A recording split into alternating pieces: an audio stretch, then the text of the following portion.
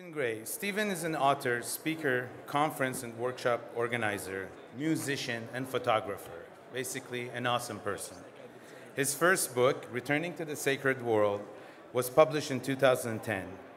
As of spring 2015, Stephen is just finishing up a new book with 17 contributors, and it's called Cannabis and Spirituality A Guide to the Revival of an Ancient Wisdom Ally. This book will be published by Inner Traditions Park Street Press in 2016. Stephen has been a co-organizer of the Spirit Plant Medicine Conference in Vancouver for the past four years, which is a great forum in which we talk about all kind of sacramental plants. The event is coming up on October 29 and 30th at UBC, and I believe there's a booth as well. You can get more info. Welcome, Stephen.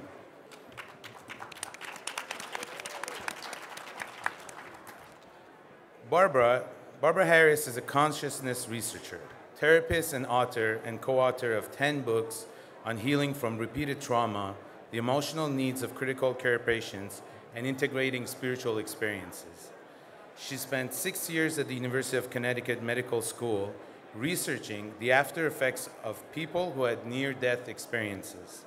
She taught about these after effects at Rutgers University Institute for Alcohol and Drug Studies calling her classes when the 12th step happens first. She's in private practice in Atlanta, Georgia, doing group and individual psychotherapy for adults that were repeatedly traumatized as children. She's also the author of this very nice book, The Secrets of Medicinal Marijuana, a guide for patients and those who care for them. I'll look forward to having it signed. Welcome, Barbara. Thank you. For the sake of time constraints, I'll just ask for another quick applause for Chris, who was already introduced early on, and thank you for the introduction to this panel. And last but not least, we have our friend Matt Beren, who's the owner of the House of the Great Gardener. Matt, Matt has been working with cannabis for the last 21 years. For 14 of those years, Matt has worked with numerous clubs across Canada. Matt has also successfully fought a six-year constitutional challenge in the BC Supreme Court regarding the MMAR program after the Vancouver Island Therapeutics Cannabis Research Institute was raided in 2004. So thank you very much for putting up that fight on behalf of everyone. After that win, he started the House of Great Gardener to give patients even more access to the medicine that worked best for them, access to the seed. Matt believes intention is a primary element when it comes to working with cannabis, and that shows with 25 international awards under his belt. All right. Great. So on, on this panel, we'll look forward to hearing of your personal connection to the plant and, in, and, and, and the spiritual sacramental use. Thank you, Chris, for introducing us at the beginning and an explanation of previous religions and key figures that have used the cannabis plant throughout the history. I'll start first, perhaps, with uh, Stephen on asking you what is the open secret of how cannabis can function as a spiritual ally? Thank you. Uh, is this one on? Yeah. Uh, the open secret is the same open secret that underlies all genuine spiritual uh, philosophies and that is um, actually uh, I was going to jot down. Um, I thought I jotted down a few quotes from the 13th century mystical poet uh, Rumi, and I forgot to bring them. So, um, but I, I, Rumi almost sums up the whole thing for me about what this open secret actually means. It's not specific at all to cannabis. I'll say a little about that as I answer the question. Um, Rumi says, Rumi has poems that say things like,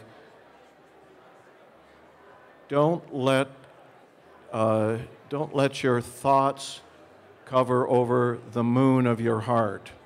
Another one is something like, uh, let go of thinking so you can drink the pure nectar of this moment. Um, another one, uh, my favorite actually, is silence is the language of God. All else is poor translation. A um, little bit of a humor in that one, actually. Um, so, uh, you know, cannabis, as we're seeing in this remarkable weekend, has uh, multiple very powerful, very effective benefits for people.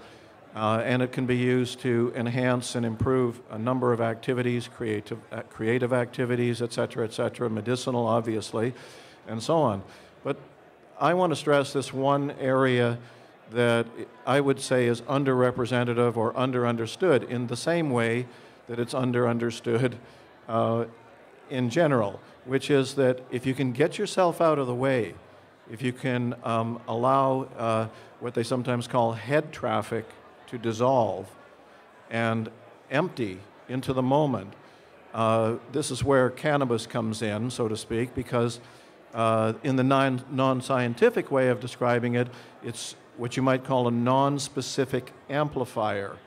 So uh, it, it will, uh, you know, there's a lot of science to say why or how this happens, but in the non scientific way, uh, cannabis amplifies wherever your intention is or what, what, wherever your direction is. So um, if you have negative ideation, it'll, it can enhance and put out a perspective that as well. But if you can pay attention, if you can let go of head traffic, if you can sit still for a little while, uh, and just let the plant be your whole experience in that moment, it can deepen your meditation. It can open you up into a place of peace and uh, awakened heart, open heart, awakened heart, as the Buddhists call it. That's the short answer. I could go on about it for half an hour, but I better stop there. Thank you, thank you. Um, in, in relation to that, so for people who are interested in cannabis, but also a broader family of entheogens, I'd like to ask the panel how cannabis can work with and support encounters with other entheogens.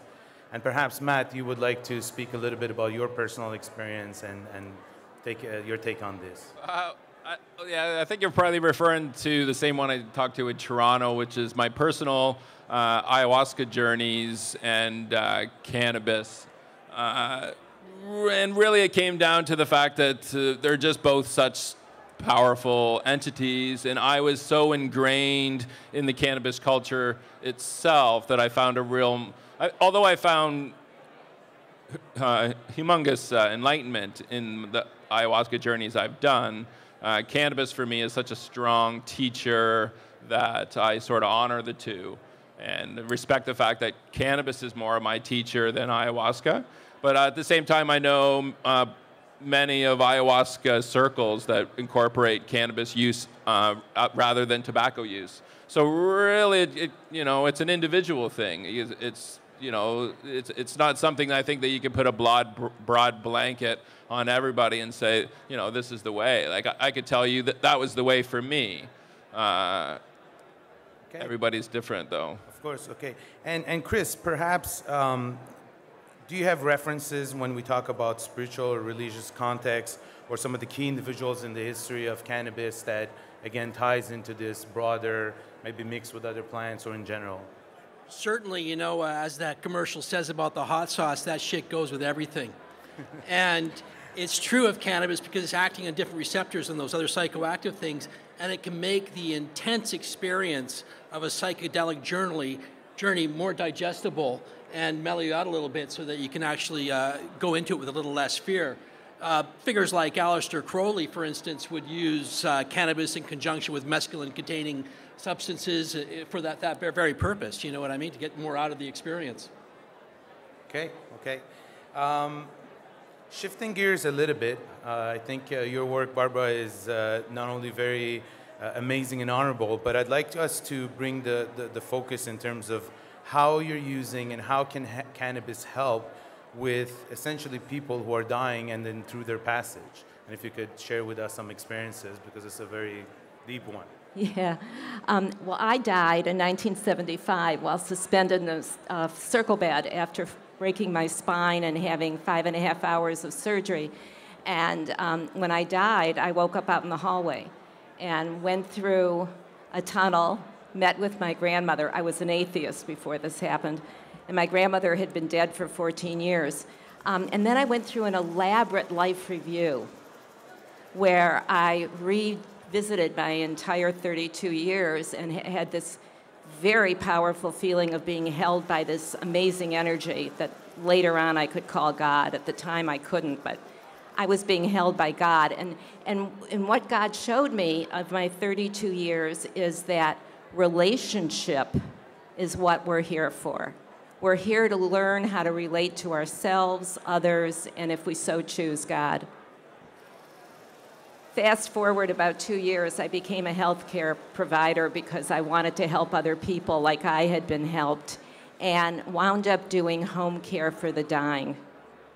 And while I was in the body cast for seven months, somebody had given me a joint. And two inhales from that joint, and I flushed all my Percocet, all my Valium, and all my sleeping pills down the toilet. And I just smoked cannabis for the rest of my time and kept going over my life review. So I wound up doing home care for the dying. And I had one sweet little grandma who was really so gorked, is the word we used to use, on Percocet and I really wanted her to be alert and awake because I knew she was going to die very shortly. So I walked out of her room and I asked her grandson, who was visiting her for the last time, I said, You know, I don't want to get you into trouble, but is there any way you could get a hold of some cannabis for your grandma? And he looked at me and he said, Yeah, I'll go to my car.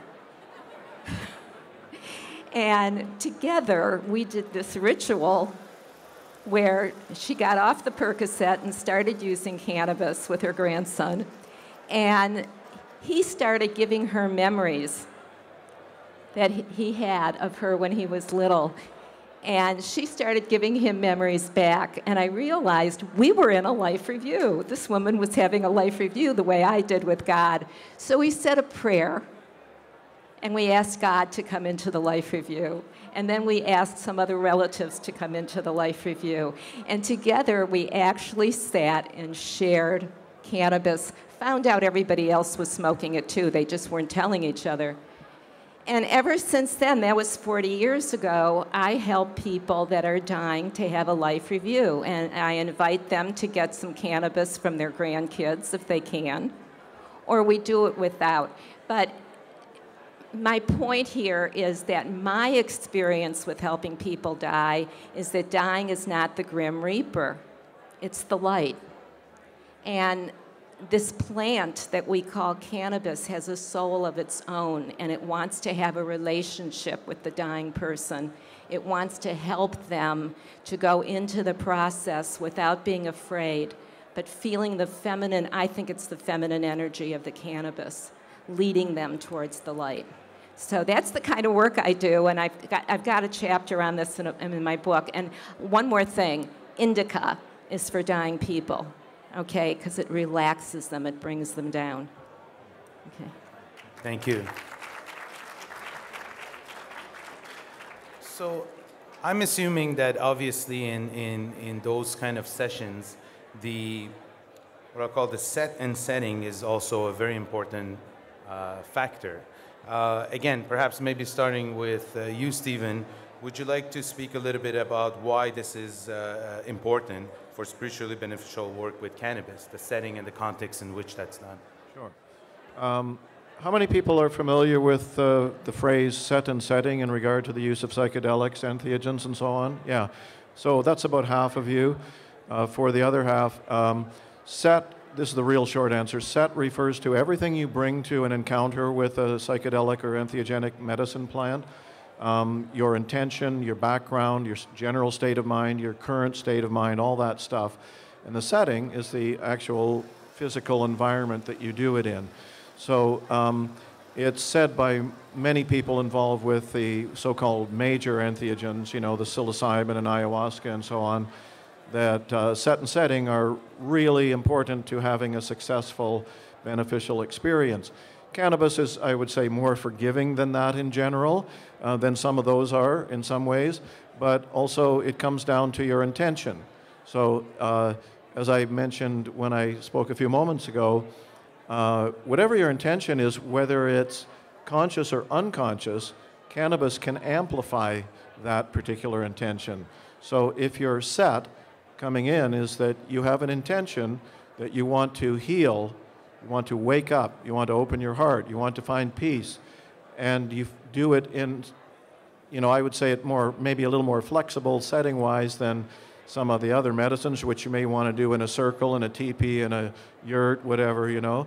Cannabis uh, uh, will allow many different environments. Uh, it loves nature, and nature loves it, for example. But um, uh, you know, having a setting that feels comfortable and safe, non-distracted, one way or another, can be a very important part of going deeper with cannabis and allowing the natural healing and awakening that life offers us to occur. Thank you again. Uh, Matt, exactly. Uh, Where I was going with was the theme of intention. Yeah, just intention. So I come at it a little bit more as a, as a sort of grower that's been working with compassion clubs, that's been working with medical people, that's been needs sort of medical grade cannabis. And for me, it, it, it really is a spiritual journey. I used to hang out with an old shamanic drum circle group that taught me the ways of drumming and and journeying and setting your intention and finding the answer. And for me, back in the day, my only question was how do I make cannabis better? How, how can I make my weed better? I'm growing weed, I want to make it better. How do I do that? And it really came down to intention. And in a, on a lot of the journeys, they started off with, well, what's your intention? What do you grow weed for? And at the time, I was growing weed to pay my bills. So they were like, you know, oh, your intention is to make money. And eventually, what happened was I was, and it was during an ayahuasca trip that I was really shown the visual example of what these teachings were all about. It was, uh, it was, it was really a guy on a bicycle, and he, and he was the dealer, and he went up to the guy that was buying weed, but the weed was grown with the intention to make money. So the guy gr- drove up, and, uh, and then he had the weed, and the guy had the money. And then the moment that the money and the weed were changed hands, the bag of, of cannabis lit up with a bright blue light. And, and, and at the time, it was the tall, slender blue beings of the ayahuasca land. They were like, that's what happens. That's what the intention of the cannabis, because the cannabis plant understands your intention, and the cannabis plant wants to work symbiotically with you. It wants to please you as much as you want to please it. And if your intention is to grow that cannabis for money, well, then that, that's what the pl- cannabis plant's going to do. So at the moment the money was exchanged, the cannabis reached its energetic blue light, just penetrating out of the bag. And the guy put the weed in his bag, and then the other guy, the guy that he went home, and as he was walking home, the blue light was slowly diminishing. By the time he got home and he rolled it up and he smoked it, there was no more blue light in the in the weed that he smoked. And then, the, and then the blue beings are like, okay, well, now we're going to show you an example of what it's like to grow weed when you put the intention to make somebody feel better into your growing and the same the same scenario started. The guy on the bike came rolling up, and the and the and the guy bought the weed, and the, and the exchange happened, and no blue light. And the guy walked home and rolled up the joint and sat back on his couch, and then he lit the joint up. And as he lit up, the blue light filled the whole guy up, and the whole guy was lighting with blue light. And they were like, and that's the difference. So, you know, that when your intention is set, on a sort of spiritual level, there is something more that occurs within the cannabis that you're smoking. So you sort of have to ask yourself, and then, and I've been working with the Vancouver Island Compassion Club for 15 years. And uh, we've gotten to the point where all the genetic selections that we do for new strains, they're all put to the members of the club, and the members of the club sort of tell us which ones, which ones work best for them. So the entire seed bank that we run, every single strain on the seed bank has been tested in the clubs. We know they're medicinal strains. It's pretty interesting when you can when you can put five new strains to the members of a club and right away, boom, number four. Number four is, is the one that everybody likes. And the great the crazy thing is that is always different from the one that I like. So if it was me that was doing the genetic breeding, and it's and the one that I always like is usually one that people like the least. So if it was me doing the genetic selection, you wouldn't really be getting the medicinal properties that the people that actually want the medicinal properties are looking for, because I was the one doing the selection. So Thank you. Yeah, Please, the you know, panelists. Andrew Weil termed cannabis an active placebo, and with cannabis, intent is everything. You know, if you're smoking some dope before you sit down or your Xbox, you're going to get a different experience than some sadhu who's banging it off his third eye before sitting down to his yogic practices. And uh, when it was a major medicine in the 19th century, people were taking very potent extracts. There's actually surprisingly few accounts of people writing about it for its psychoactive purposes, uh, psychoactive effects in this time period, because what they felt was better. They were taking medicine and they were taking it was better. And that's largely due also to a lot of the anxiety around cannabis use in our modern times. It's all the prohibitions and all the thoughts about that that, that contributed to those uh, effects of anxiety. And uh, if you really want to enrich your cannabis, find out the history of it because it's the sacred history of cannabis is a fascinating thing and it will turn the more you educate yourself about it it will turn this plant from a despised weed to, weed to a literal tree of life. Great great. Thank you. Barbara do you want to share on that topic? Yeah. So if you're going to grow cannabis to help you or a family member the way i like to do it is to start your intention when it's a seed, to hold the seed in your hands and let the seeds feel your energy and in its energy. And then when it's planted and it's growing, I like to put my hands on either side every day, twice a day, three times a day, and visualize that plant helping my relative. And when we harvest the cannabis, we ask it permission. And when we give it, we give it with the intention of healing. And what I like to do is have my relative or my patient hold it in their hand and ask it to be what they want it to be. What is the reason they are going to ingest this? What is the reason they're going to take the soul of the medicine into their soul?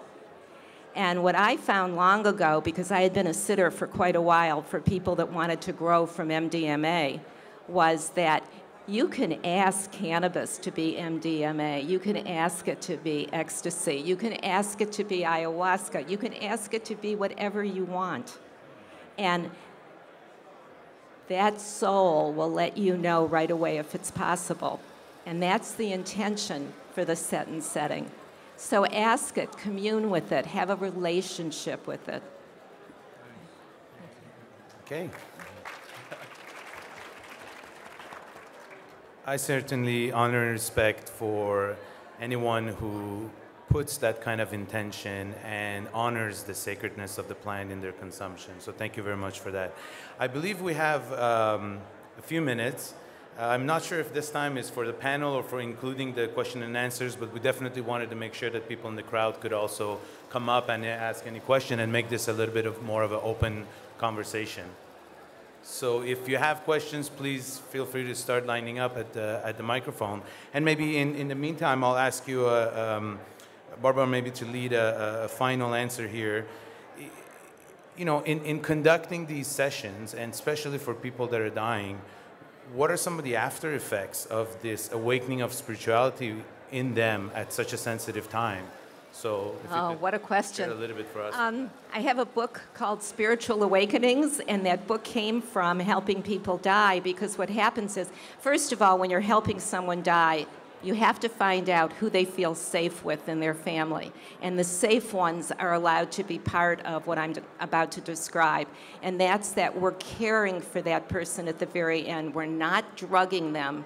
We may be sharing cannabis with them, but we're not giving them hard drugs. And we're attending to them. And part of the attending is a laying on of hands that we do, where we pray with them.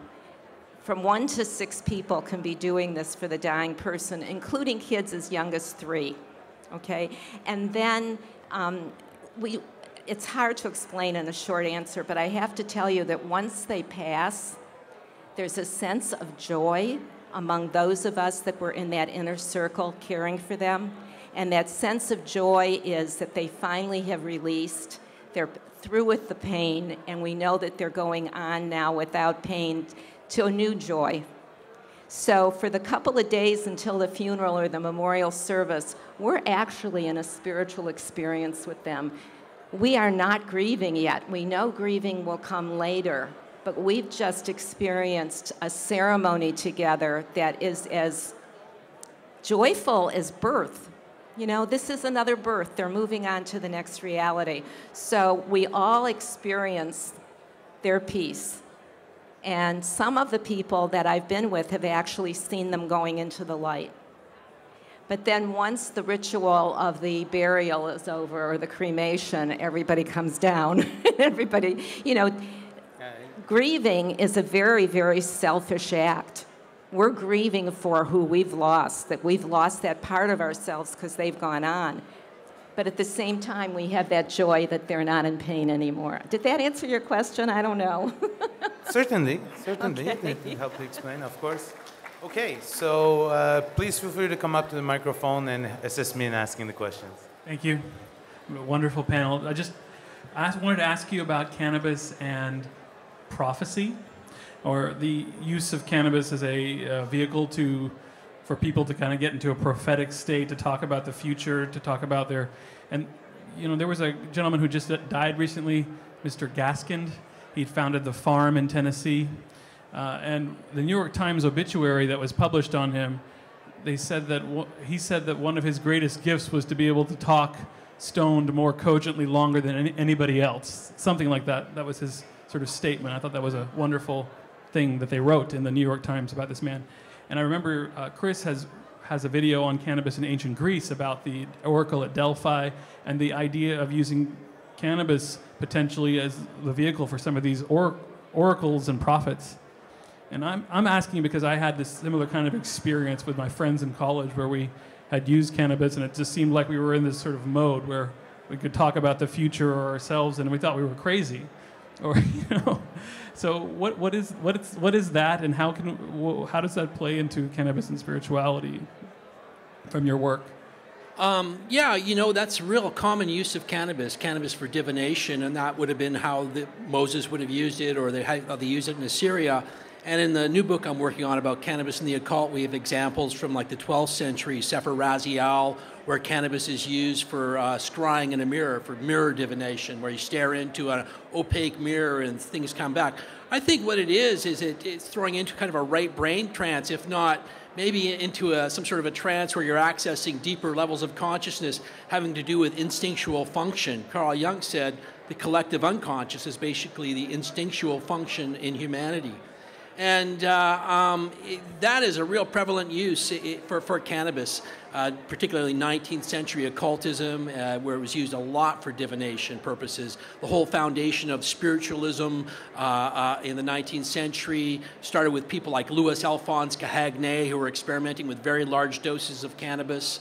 And uh, there's been a number of prophetic books from that time period written where things actually came true, predicting the railroad road and other things like that, uh, um, were, were foreseen somehow under the influences of cannabis, you know? Cannabis, cannabis in itself is a tool. Uh, the spiritual realm sort of which you sort of entered isn't dependent specifically on cannabis. The most like say the spiritual experiences I've had, I've had some on cannabis. I've had the most profound ones on ayahuasca. I've had ones on LSD, and some of the best ones I've ever had have come via the drum. Right? So it's it's it's just you used cannabis as a tool to get there, just like anything else is a tool. Eventually, you know, like the ladies of the drum circle, it was a drum. They drum, they drum the rhythmic harmonic beat until they entered a, a dreamlight state. The, the dervishes, they would spin themselves until they got dizzy, and they would ent enter into a dreamlike state. Right, the the Native Americans who have the the, the the sun dance where they tie themselves to a pole and and they're out there for days on end until they enter uh, a spiritual state, right? So really, it, cannabis is just a tool that can be used to enter or exit or visit or and rest assured that you and your friends weren't crazy, so that's okay. Let me Lots just, of us have been there. Oh. It slows down time. And when I was in my NDE, there was no time. And I've tried ayahuasca, I've tried the mushrooms, I've tried them all. And they're all wonderful, but for me, the cannabis creates the same timeless sense that I had in my near death experience. And in that timelessness, it's like you can reach to other times. You can, you can, you can feel it. Maybe I can't verbalize it, but it's there. It's a sense. So I, if I was going to try to do prophecy, which I never have, I would choose cannabis as my way to do it. That's it? Okay. Next question, please. Brought to mind uh, the woman, unfortunately, I can't remember her name, but the woman who lived with Stanley Owsley on and off for many years. Uh, she wrote a book which, among other things, contains numerous minute details about the manufacturing process. And uh, Owsley was, uh, he was pretty much obsessed with the purity of his intention when he was making LSD. And uh, one of the interesting things uh, I learned in this book was that uh, like uh, someone else, maybe even her, I'm not sure, but uh, would completely duplicate his manufacturing process, but the quality would be substantially inferior. And of course, that's all, all to do with the, you know, the idea of intention that, that you've been discussing. I, I found that quite interesting. Mountain Girl. no? No? Stephen, would you would like, we have two minutes in total, but please, Stephen. You I, I just want to make a general comment, not a specific response to that gentleman. Just, uh, I think uh, what uh, I was having this discussion with a woman a little earlier this morning.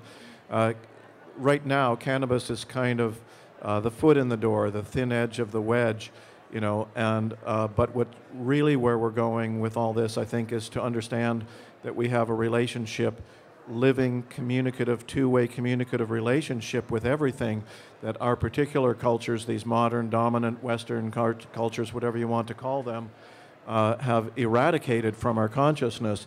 Um, but the, the way forward, as I understand it, in my limited understanding, is that uh, we need to reconnect with plants altogether and their, their uh, messages and teachings for us, whether it's medicinal, spiritual, whatever. So I just wanted to add that little bit in there. Um, okay. Any last last question?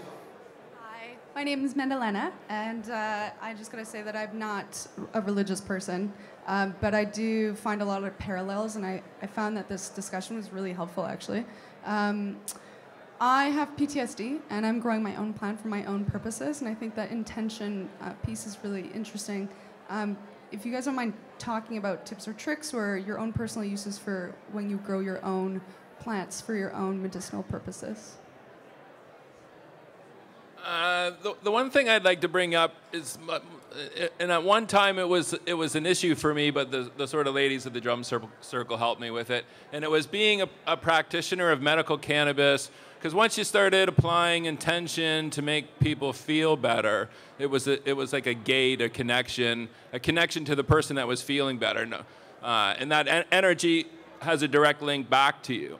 And if, and if you don't have techniques to sort of release and let that energy flow, then the person actually then can grow the cannabis can actually not necessarily get the same symptoms, but sick or irritable or cranky or, or a lot of the, a lot of these things. And and I had some pretty interesting discussions with the ladies about just the cycle of, of energy, right? Energy doesn't isn't created or destroyed, it just sort of changes form. And if you open up that connection to help somebody feel better, then you better be prepared to receive what comes back. And if you're not and if it's sort of some black, goopy, dark sort of energy that you know, comes and sort of attaches itself to you, you better sort of have a trick to sort of get rid of it. And it's interesting, it brings up a story. I remember the first time I tried to do uh, a drum journey on my own, and I was like, oh, I'm gonna go, I'm gonna go meet the spirit of cannabis, and it's gonna give me all these insights, and I'm gonna smoke this big giant fatty before I go.